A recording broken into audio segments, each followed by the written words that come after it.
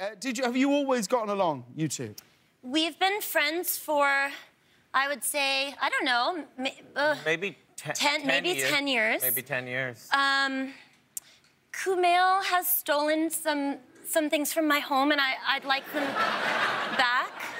Like what? What sort of thing? A vase, a lamp, some sheets, some linens, some kitchen linens, bathroom linens, a cat, you know, and a hat, which is funny because cat and hat is the funny rhyme. well, Wow. I will say you're definitely not getting the cat back. No, I, I don't want it after you used it. I didn't use up the cat. I think The cat passed away.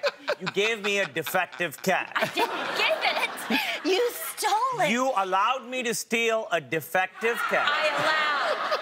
I allowed. She was on her last legs, and um, you know. Hey guys, Hey, cats guys. die. Okay. And the fact is that it's a joint lie that we're making up because we've known each other for a long time and it's been very pleasant and we don't really have any cool things to say about it. I have stolen some silverware, and that is not a lie. That is not. it. So there, there it is. well, there it is.